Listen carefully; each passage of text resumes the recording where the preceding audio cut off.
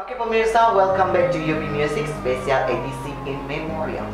Dan kali ini penyanyi muda kita yaitu Poppy Mercury ya Penyanyi pop lawas Indonesia Poppy Mercury Yang menderita komplikasi mah, radang, tenggorokan, dan juga rematik.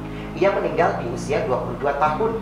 Artis muda yang meninggal dunia kali ini juga masih dalam lingkungan penyanyi buat kamu yang buat para pemirsa ya merasa bahwa merindukan sosok Poppy sendiri adalah di mana lahir di Bandung pada tahun 1973 dan ia terkenal dengan lagu andalanya. Saat itu yang berjudul Surat Undangan.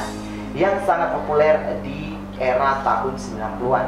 Namun saat ia berada di puncak karirnya, ia mengembuskan nafas terakhirnya Poppy diketahui mengidap penyakit komplikasi yakni mah, radang tenggorokan, dan juga rematik. Ia dirawat di Rumah Sakit Hasan Sadikin Bandung pada saat itu akibat penyakit komplikasinya.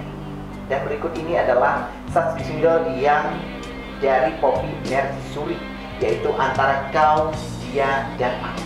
Spesial buat Anda.